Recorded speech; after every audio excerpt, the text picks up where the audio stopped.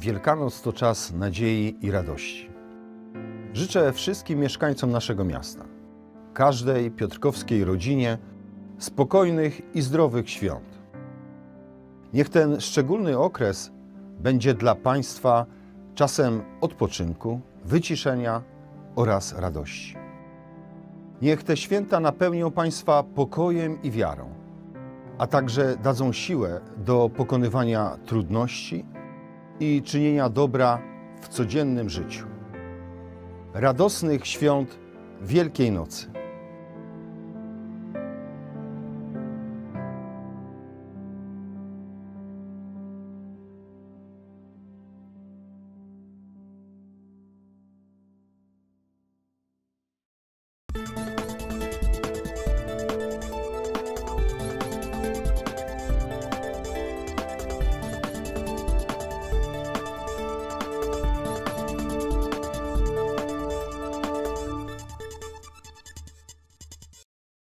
Środa 13 kwietnia, Karolina Paras. Witam Państwa i zapraszam na informacje piotrkowskie. W dzisiejszym wydaniu o uczczeniu rocznicy zbrodni katyńskiej, o przygotowaniach do świąt i o bezpieczeństwie na drogach i przejazdach kolejowych. Wiosną 1940 roku NKWD wymordowało blisko 22 tysiące Polaków, więźniów, jeńców wojennych, oficerów i policjantów. Informacje o odkryciu masowych grobów podały nazistowskie Niemcy 13 kwietnia 1943 roku. Do zbrodni Związek Sowiecki przyznał się dopiero po 50 latach. Dziś mija 82. rocznica zbrodni katyńskiej. Hołd zamordowanym w Katyniu tysiącom Polaków oddano w całej Polsce. Także w Piotrkowie Trybunalskim upamiętniono ofiary zbrodni katyńskiej. W hołdzie tysiącom Polaków, wojskowym i cywilom zamordowanym w Katyniu w więzieniach i obozach sowieckich w latach 1939-1956. Taki napis widnieje na pomniku katyńskim, przy którym co roku w Dniu Pamięci Ofiar Zbrodni Katyńskiej hołd Polakom zamordowanym przez Sowietów składają mieszkańcy Piotrkowa Trybunalskiego. Dziś hołd ofiarom sowieckiej zbrodni przy pomniku katyńskim oddali przedstawiciele władz miasta. Wiązankę w imieniu mieszkańców miasta złożył prezydent Krzysztof Chojniak oraz przewodniczący Rady Miasta Marian Błaszczyński. Kwiaty złożono także w imieniu Rady i Zarządu Powiatu Piotrkowskiego oraz Policji. Pamięć o zbrodni katyńskiej uczciło także Piotrkowskie Muzeum wystawą Katyń Pro Memoria. Ekspozycja po raz kolejny upamiętnia ofiary tej zbrodni, ale pokazuje również, kto był odpowiedzialny za ten mord. Za próby fałszowania oraz zacierania pamięci o zabitych Polakach. W obecnym czasie o tym pamiętać trzeba szczególnie. Wiemy, co się dzieje na Ukrainie i wiemy, że propaganda kłamstw rosyjskich nadal pomimo upływu lat miewa się dobrze.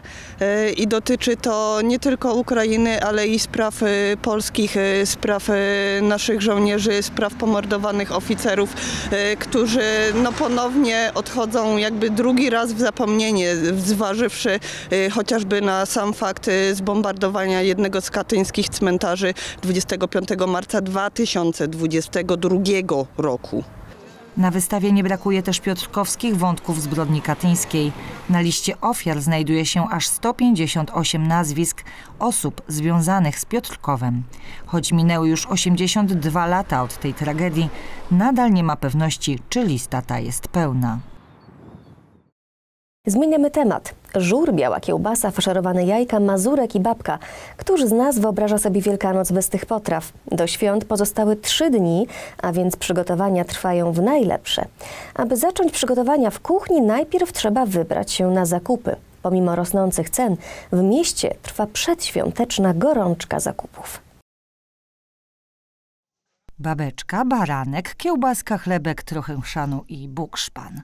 Jednym słowem to, co w wielkanocnym koszyczku musi być. Ale oczywiście tradycyjnie muszą się w nim znaleźć jajka. Bez nich w święta ani rusz. Dlatego na kilka dni przed Wielkanocą ze stoisk sprzedawców znikają one w okamgnieniu. Po ile ludzie kupują jajek przed świętami? 20-30. Czym się kierują przy wyborze? A teraz kolorem, bo bardziej idzie brązowe jak te białe. Dlaczego? No bo nie farbują. Od razu do koszyczka sobie kładą ludzie. Kolor. A ceny poszły w górę? Nie, ja mam 80 groszy i 90 groszy w tych granicach. Tak sprzedawałem, tak mam. Chyba, że większe, no to tam już do złotówki dochodzi. Zakupowe przygotowania do świąt sięgają apogeum. Widać to po wzmożonym ruchu choćby właśnie na targowiskach. Jak idą przygotowania do świąt? No pełną parą. Pełną parą cały czas. Porządki, zakupy, Co najważniejsze, aby kupić? oczywiście jajeczka. Dopiero zaczynam. Pierwsze zakupy, koszyczek e, i do koszyczka jakieś ozdoby. Także powoli do przodu. Co już kupione? mięso kupione, warzywa, jajka. Ja dzisiaj kupiłam na pasztet, bo zawsze piekę pasztet. Co najważniejsze, żeby było? Y, No oczywiście jajeczko, no oczywiście y, biała kiełbaska. No wiadomo, że kawałek szaniku musi być. Świąteczna lista zakupów jest długa. Jej zrealizowanie w tym roku drenuje portfele Polaków. Eksperci wyliczyli, że w tym roku święta wielkanocne będą droższe od poprzednich o ponad 20%. Dużo wydamy na tegoroczne święta? No myślę, że więcej niż na poprzednie. No zależy od rodziny, od gości. No myślę, że więcej, bo wszystko zdrożało. Co poszło w górę? No wszelkiego rodzaju wędliny, nabiał. Na co wydamy najwięcej pieniędzy? Na jedzenie. Na jedzenie najwięcej, bo to jest najdroższe, a to trzeba zjeść przecież. Bo Tam ozdoby czy coś to jest mało ważne. Najważniejsze jedzenie. Według badań Provident Polska statystyczne gospodarstwo domowe wyda na święta ponad 530 zł. Wyższe niż 600 zł wydatki planują respondenci z grupy wiekowej 55+. Tutaj deklarowana średnia kwota to 660 zł. Zakupy, domowe porządki, przyrządzanie potraw. Przygotowania do świąt trwają, a w Piotrkowie Trybunalskim niektórzy przygotowują nie tylko święta w swoich domach, ale również dla tych, którzy w tym czasie są sami. Stowarzyszenie Wzajemnej Pomocy Abstynenckiej Pałacyk zaprasza w swoje progi wszystkich na śniadanie wielkanocne. Pierwsze świąteczne spotkanie zorganizowane z myślą o osobach samotnych odbyło się w siedzibie Stowarzyszenia Wzajemnej Pomocy Abstynenckiej Pałacyk w Wigilię Bożego Narodzenia. Na Wigilii spotkali się zarówno ci, którzy tego dnia sami być nie chcieli, jak i wolontariusze oraz darczyńcy, którzy już wtedy wiedzieli, że kolejne spotkanie musi odbyć się w święta Wielkiej Nocy. To było pierwsze w historii naszej działalności, taka, taka kolacja wigilijna. Ona trwała bardzo długo, bo aż 12 godzin. E, duże wyzwanie organizacyjne też e, wtedy było przed nami. Byliśmy bardzo mile zaskoczeni ilością wolontariuszy, którzy się zgłosili oraz sponsorów, którzy też chcieli nas e, podczas tamtego wydarzenia wesprzeć. Stąd już były wtedy deklaracje, że na wiosnę spotkamy się na śniadaniu wielkanocnym i w najbliższą sobotę będzie miało to miejsce. Będzie tak, jak powinno być podczas świąt, a na stole pojawią się świąteczne potrawy. Będzie świątecznie, będzie tak jak w domu, będą wszystkie potrawy e, takie, jakie można spotkać e, w naszych domach na, na śniadaniach wielkanocnych, czyli żurek, kiełbasa, e, potrawy z jajek, ciasto, mazurki, babki. Będą rozmowy przy świątecznym stole i domowa atmosfera. O to również zadbają wolontariusze, mówi Mirosław Świech, prezes Pałacyka. Tych nie brakuje. Chęć udziału w spotkaniu zgłosiło już 30 osób. A na śniadanie wielkanocne z Pałacykiem zaproszona jest każda osoba, która czuje się samotna, czy nie ma pieniędzy na przygotowanie świąt. Nie trzeba się umawiać czy zapisywać. Wystarczy w Wielką Sobotę przyjść tu, do siedziby Pałacyka przy Alei 3 Maja 31 w godzinach od 10 do 14. Nawet 5 tysięcy złotych. Taki mandat według nowego taryfikatora, który obowiązuje od 1 stycznia 2022 roku, może otrzymać kierowca za nieprzestrzeganie zasad ruchu drogowego. Nowe mandaty miały przełożyć się na mniejszą liczbę wypadków drogowych. Czy wpłynęły na poprawę bezpieczeństwa na drogach? O tym w materiale. Za przekroczenie prędkości zgodnie z obecnym taryfikatorem można zapłacić nawet 2,5 tysiąca złotych. By taki mandat otrzymać, trzeba przekroczyć prędkość o ponad 70 km na godzinę.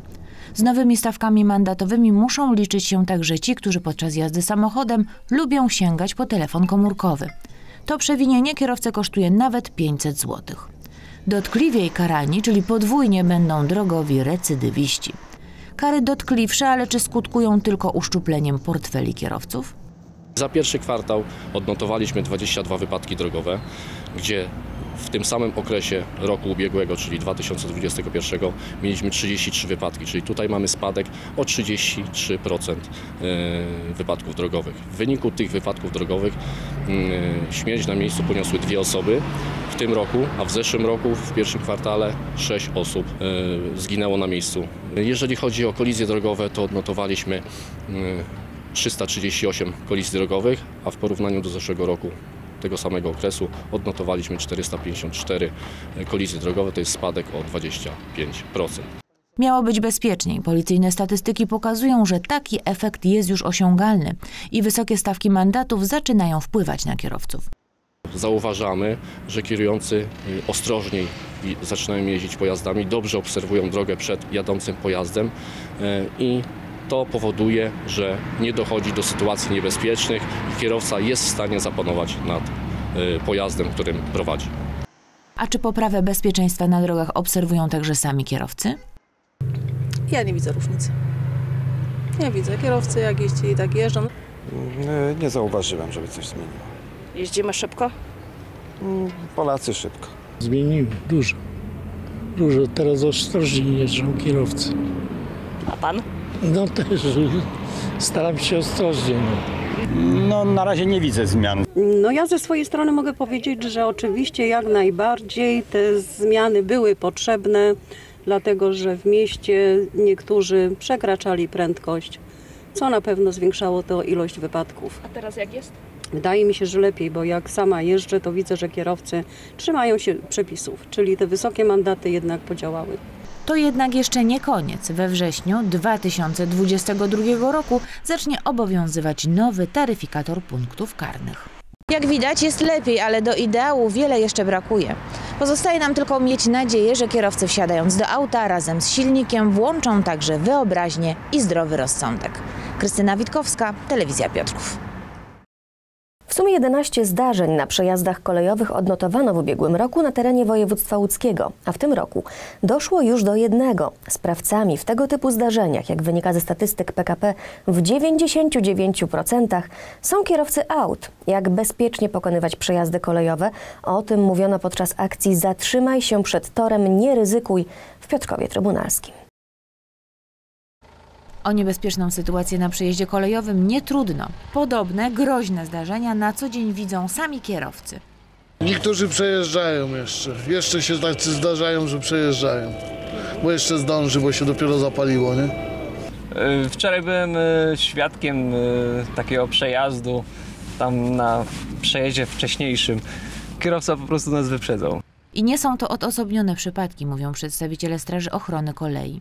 Można powiedzieć, że Gdybyśmy stali 24 godziny na dobę na przejeździe, z pewnością za każdym razem byłoby kilka osób legitymowanych za popełnienie wykroczenia na przejazdach. Do głównych grzechów kierowców należy nieuwaga, brawura, pośpiech, nadmierna prędkość oraz ignorowanie znaku stop, a także przejeżdżanie, przejeżdżanie pod opadającymi rogatkami, czy wręcz omijanie zamkniętych rogatek slalomem. Nie ryzykuj, prosili dziś ambasadorzy bezpieczeństwa na przejeździe kolejowym w Piotrkowie Trybunalskim przy ulicy Moryca. Podczas akcji przypominano kierowcom o bezpiecznych zachowaniach i wręczano im pakiety edukacyjne. Zatrzymujemy pana, prowadzimy dzisiaj działanie Bezpieczny Przejazd. Chcielibyśmy taką, takiego, proszę bardzo, ulotki wręczyć. O, fajnie się tam pan zatrzymał, rozejrzał, także gratuluję dobrej postawy, bezpiecznej drogi. Miłego dnia życzę. Zawsze na przejazdach pierwszeństwo ma pociąg, a kierowca i auto w zderzeniu nie ma żadnych szans. Dlatego dbajmy o siebie, dbajmy o nasze bezpieczeństwo i uważajmy. A gdy zdarzy się wypadek lub awaria pojazdu na przejeździe, ważne jest to, by precyzyjniej wskazać miejsce. W tym pomocne są żółte tabliczki znajdujące się na każdym przejeździe. Kierowcy zazwyczaj y, nie wiedzą co robić, gdzie dzwonić. Tak? Y, należy wtedy y, w takim wypadku opuścić pojazd i odszukać tą właśnie naklejkę, która znajduje się, jak powiedziałam, na napędzie rogatkowym lub na krzyżu świętego Andrzeja, na każdym jednym przejeździe kolejowo-drogowym, zadzwonić na numer 112 i podać dziewięciocyfrowy numer. Dzięki temu służbom szybko udaje się zlokalizować miejsce zdarzenia i ewentualnie wstrzymać ruch na danym przejeździe. Teatr bawi, teatr uczy i nie trzeba skomplikowanych dialogów, wielu wątków i masy wydarzeń. O tym przekonać się można było podczas kolejnego spotkania z teatrem w ramach edukacji bajecznej prowadzonej przez Miejski Ośrodek Kultury. Prot i Filip, dwaj przyjaciele, którzy w kryzysie wejdą za sobą w ogień, a na co dzień nie żałują robienia sobie figli nawzajem. I tak w trakcie widowiska pełnego zabawnych sytuacji między bohaterami przemycane są znane i cenione wiersze Jana Brzechwy. Wraca żaba od doktora. Myśli sobie, jestem chora, a doktora chora słucha. Mam być sucha, będę sucha. Widowisko utrzymane zostało w formie dawnego kabaretu starszych panów, ale również wśród części, na które się składa, starsi widzowie mogli dostrzec elementy żartu serwowane niegdyś przez Flipa i Flapa, czy też Charliego Chaplina. Myślę, że no jest to, to typ humoru, który mimo wszystko jest uniwersalny i, i dzieci w każdym wieku y, bardzo dobrze go rozumieją i czytają. W efekcie Prot i Filip bawili młodą piotrkowską widownię do łez. Co Prot i Filip robili na scenie? Wygłupiali się. Co oni takiego robili tam, jak się wygłupiali? Tańczyli się, śmiali. Dla mnie był fajniejszy Filip. Oba. A dlaczego Filip był fajniejszy? No bo mi się podobały jego sztuczki. A komu się podobał Prot? Mi. A dlaczego tobie Prot? No bo fajnie było, jak tak stanął na rękach. Filip. A dlaczego Filip był fajny? Bo, bo, bo, bo, bo był tak śmieszny. Bawił, ale i uczył. Podczas spektaklu dzieci uczyły się szacunku do drugiego człowieka i wartości przyjaźni. Mało tego, takie widowiska uczą młodych widzów, że do teatru warto przyjść. Y, Mam nadzieję, że właśnie y, widząc coś dobrego na scenie w wieku przedszkolnym, y, dziecko będzie chciało potem pójść do teatru, ponieważ nie będzie miało takiej traumy, że będzie mu się teatr kojarzył z czymś nudnym, na czym się po prostu zasypia. A aby uczyć dzieci teatru, w tym przedstawieniu nie zabrakło też interakcji z młodym widzem. Ja go sam zawiązywałem. Jak jesteś spryciarą, to spróbuj go rozwiązać. Na pewno jej się nie uda. Bo ja to tak z całą... O! Dzięki, piąteczka! Super! Wielkie brawa dla Igi! Ukłoń się. Edukacja bajeczna prowadzona przez Miejski Ośrodek Kultury to comiesięczne wydarzenie teatralne organizowane dla przedszkoli oraz najmłodszych klas szkół podstawowych. Pamiętaj to kolego, przyjaciele są od tego, ani teraz, ani potem Ten sport wymaga uważności, szybkości i taktyki. Mowa o nowoczesnej szermierce klasycznej. W miniony weekend w hali Ośrodka Sportu i Rekreacji w Piotrkowie odbyły się Mistrzostwa Polski w tej dyscyplinie sportu. Zawodnicy biorący udział w mistrzostwach rywalizowali od piątku do niedzieli. Walki odbywały się w kilku kategoriach wiekowych. Przeciwnika trzeba było pokonać ilością trafień, a pojedynki rozgrywano do trzech trafień. Zwycięzca przechodził do kolejnego etapu. W zawodach używano trzech rodzajów broni. Są trzy y, dyscypliny. Szpada, szabla i rapier z lewakiem. Która jest najtrudniejsza? To trudno powiedzieć. Szpada generalnie jest na najwyższym poziomie, więc tutaj czasami bardzo trudno się przebić gdziekolwiek wyżej. Eee, szabla, no to zawsze bardzo lubiłem szablę, więc to jest moja ulubiona dyscyplina. E, rapier z lewakiem, czyli to co teraz jest, jest generalnie najbardziej wymagający, bo wymaga największej siły i zręczności, powiedzmy doświadczenia, bo jednak ten komplet najwięcej waży w sumie i wymaga najwięcej przygotowania. Szermierka klasyczna jest sportem całkowicie bezpiecznym. Zawodnicy są zabezpieczeni strojem przed ewentualnym trafieniem. Walki prowadzone są tak, jakby w użyciu była broń ostra, a zasady tego sportu pozwalają na użycie innych technik niż tylko trafienie bronią. W pojedynkach spotykają się kobiety i mężczyźni. Na pewno, no, jeśli przeciwnik jest od nas większy, silniejszy, e, to na pewno popełnia przez to e, pewne błędy, które można jakby wykorzystać przeciwko niemu. Jakie na przykład? Na przykład jeśli mamy przeciwnika bardzo wysokiego, e, to jeśli jesteśmy mniejsze, możemy po prostu wejść mu pod broń. E, Natomiast e, przeciwnicy o wiele więksi, duzi nie są wcale tacy straszni, ponieważ są o wiele większym polem trafienia niż my dla niego jesteśmy. Organizatorem mistrzostw była szkoła fechtunku Aramis. A teraz nieco słodyczy. Występuje nie tylko pod postacią tradycyjnej tabliczki, ale także cukierków, pralinek czy batoników. Miłośnicy słodkiego przysmaku mogą wybierać wśród tabliczek mlecznych, gorzkich, nadziewanych. Czekolada, bo o niej mowa, uwielbiana i doceniana za swoje walory, nie tylko smakowe, jest na całym świecie. Wczoraj w Polsce obchodziliśmy Dzień Czekolady i z tej okazji zapytaliśmy Piotrkowian, jaka jest ich ulubiona. Czekolada, mleczna czy gorzka? Dla mnie gorzka. A dlaczego? A dlatego, że jest lepsza. Mleczna zdecydowanie. Z nadzieniem czy z orzechami może? E, z nadzieniem bardziej. Mleczna. Z orzechami, nadzieniem? Jaka? Z orzechami. Z orzechami. Z orzechami. Orzechy dobrze na mózg wpływają, także czekolada z orzechami. Czekolada, mleczna czy gorzka? W sumie oba typy. Gorzka, zawsze gorzka. Mleczna Z nadzieniem, orzechami? Y, z orzechami. Z nadzieją może być, bo z orzechami to mam zęby kiepskie. Gorzka. Dlaczego gorzka? Gorzka, bo bardzo zdrowa. A za co lubimy czekoladę? No ja wiem, dlaczego samopoczucie jest lepsze po czekoladzie. Bo jest świetnym źródłem energetycznym, poza tym jest bardzo smaczna, poprawia energię. Kiedy najbardziej smakuje czekolada? Wieczorami przy herbacie. Wieczorem spokój, świeczka, tam czekolada jak najbardziej. Kiedy najlepiej smakuje? Zawsze. Było o słodkościach, teraz będzie o sukcesach piotrkowskich tancerzy z Klubu Kultury Jaskółczyn. Na polsko-niemieckim festiwalu w Żarach zespół Perła, Afrodzieciaki i Aerobik zdobyły pierwsze miejsca w swoich kategoriach. Trzecie miejsce zdobył Maxi Aerobik, a zespół Aerobik otrzymał Grand Prix. Antonina Jarzemska została wyróżniona jako osobowość taneczna. Serdecznie wszystkim gratulujemy i życzymy dalszych sukcesów. Zapraszam teraz na magazyn sportowy. Dziękuję Państwu za uwagę. Do widzenia.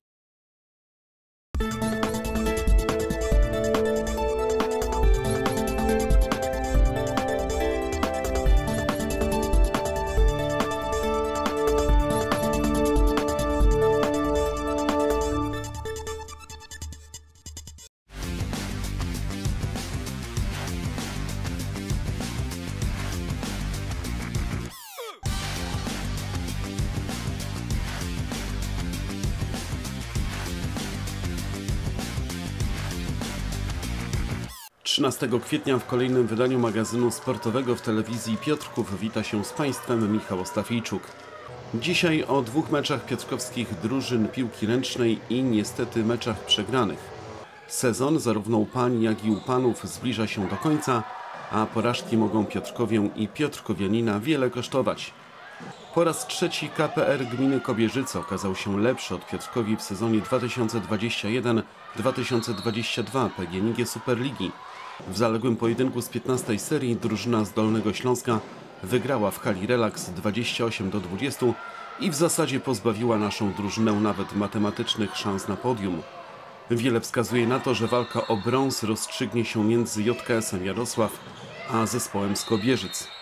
W dziewiątej minucie po celnym rzucie z 7 metrów Zoricy Despodowskiej było już 6 do 1. Tak dobry początek napędził przyjezdne, które jeszcze powiększyły w pierwszej połowie przewagę. Po 30 minutach było 17 do 8 dla drużyny z Dolnego Śląska. Po zmianie stron Piotrkowia próbowała odwrócić losy meczu i miała ku temu szansę w 50 minucie. Było wtedy 18 do 23 i zespół Krzysztofa Przybylskiego grał w podwójnej przewadze. Dwukrotnie stuprocentowych sytuacji nie wykorzystała jednak Sylwia Klonowska, a to zemściło się kolejnymi trafieniami przyjezdnych. Ostatecznie KPR gminy Kobierzyce wygrał 28-20 i dalej liczy się w walce o brązowy medal. Nie ukrywam, że nie spodziewałam się takiego przebiegu meczu. Byliśmy nastawieni na bardzo mocną rywalizację dzisiejszego dnia. Ten mecz od początku układał się pod nasze dyktando. E, Dziewczyny zagrały bardzo mądre zawody, aczkolwiek e, uważam, że dobry początek meczu generował to, że mogliśmy grać trochę spokojniej i kontrolować ten wynik do końca. Wygrywa zespół, który wyciąga lepsze wnioski i realizuje to na boisku. My niestety trochę przypadłyśmy w ataku i, i dziewczyny z Kobierzyc zrobiły kawał dobrej roboty w obronie i my niestety nie umiałyśmy sobie po prostu podać piłki. Ta pierwsza połowa nam zupełnie nie wyszła, źle weszliśmy w mecz, zaczynamy mecz od 7-2, nie wykorzystujemy iluś setek, nie wykorzystujemy dwóch rzutów karnych, brakuje powiedzmy dokładności w podaniach, dużo błędów robimy, gdzieś tam na faulu podajemy piłkę do przeciwnika, idzie kontra z tego. Kilka dni później nasz zespół rozegrał wyjazdowy mecz w Jarosławiu z Eurobudem JKS i przegrał go aż 22 do 32. Oznacza to, że Piotrkowia zajmie na koniec sezonu piąte miejsce. Górnik Zabrze po raz drugi w tym sezonie okazał się lepszy od Piotrkowianina, pokonując zespół Bartosza Jureckiego w hali Relax 34 do 29 w spotkaniu 22 serii męskiej PGNiG Superligi. O wygranej przyjezdnych zdecydowała druga połowa, a zwłaszcza jej pierwszy kwadrans. Mecz lepiej rozpoczął Górnik, po kwadransie było 11 do 7 dla przyjezdnych, a Piotrkowianin popełniał wiele błędów. Dopiero w końcówce pierwszej połowy nasi zawodnicy przypomnieli sobie swoje najlepsze mecze w tym sezonie, odrobili kilka bramek straty, a po bramkach Filipa Surosza i Antoniego Donieckiego doprowadzili do remisu 17 do 17. Początek drugiej połowy znów należał do Górnika. Po 10 minutach tej odsłony było 23 do 19 dla zespołu z Zabrza. Piotrkowianin próbował, podobnie jak w pierwszej części meczu, odrobić straty, przyspieszając rozgrywanie swoich akcji. Brakowało jednak precyzji, a świetnie między słupkami spisywał się Jakub Skrzyniarz.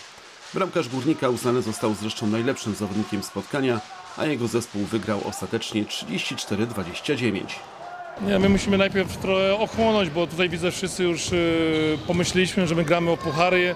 No spokojnie, no w zeszłym roku graliśmy o utrzymanie, w tym roku fajnie, fajnie, że super chłopacy grają, fajnie, że dają siebie 100% i że przez tyle sezonu, przez, przez większość sezonu mogliśmy być y, bardzo wysoko, ale no musimy sobie zdać sprawę, że no my się uczymy i idziemy dopiero w górę i to momentami chyba niektórzy już wybiegli za mocno do przodu.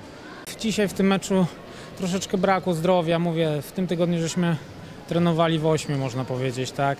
Widzimy Zabrze, jakie ma, jaką ma siłę rażenia z drugiej linii, tak. Także ja mówię, na razie jest hura optymizm, tak, bo osiągnęliśmy naprawdę duży sukces. No wiadomo, że każdy chce zdobyć jak najwyższe miejsce. Ja też bardzo bym chciał zdobyć te czwarte miejsce, no ale spokojnie, mamy jeszcze cztery kolejki do końca, no będziemy walczyć, będziemy robić co w naszej mocy, mocy ale mówię, no spokojnie, spokojnie. Pierwsza połowa była e, bardzo słaba w obronie. Popełniliśmy masę błędów, e, nawet nie wiem z czego one wynikały. Filip Suros rzucił chyba nie wiem ile bramek, ale o pięć za dużo powiedzmy, tak na, moje, na, mo, na moją głowę. E, Oczywiście to nie, nie umniejsza jego, jego zasługi wkład w, w dorobek Piotrkowianina, ale ja patrzę na swój zespół i tam było niedobrze. W drugiej połowie znacząco poprawiliśmy ten element i chyba Piotrkowianin padł już, tak mi się wydaje, w końcówce troszeczkę i to nam dało trochę, trochę powietrza. W rozgrywkach PGNiG Superligi nastąpi teraz dwutygodniowa przerwa. Kolejny mecz Piotrkowianin rozegra na wyjeździe w Kaliszu z Energią MKS, a spotkanie odbędzie się 23 kwietnia w sobotę o godzinie 13.15. Co ciekawe, będzie to trzeci z rzędu mecz Piotrkowianina, który pokaże telewizja publiczna. A na kolejny magazyn sportowy w telewizji Piotrków zapraszam za tydzień.